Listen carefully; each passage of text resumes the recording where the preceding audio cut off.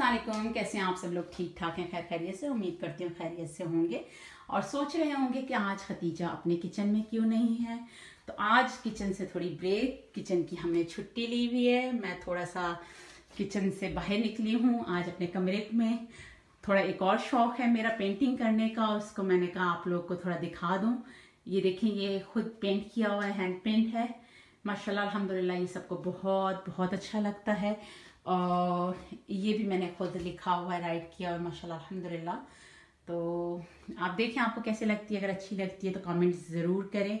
आज के इस वीडियो को बनाने का किचन से छुट्टी लेने का मकसद यही है कि मैं आप लोग को बहुत बहुत शुक्रिया अदा करूँ। इस एक महीने में जो गुजरा महीना है, मेरी हर वीडियो को लाइक करने का शेयर करने का उसको, उसके ऊपर कमेंट्स करने का, अपना टाइम दे के वॉच करने का, उसको और चीज़ें बना के फिर मुझे मैसेज करने का। बहुत बहुत शुक्रिया आप लोगों का। इतना आप लोगों ने प्यार दिया, इतनी दुआएँ मेरे लिए की।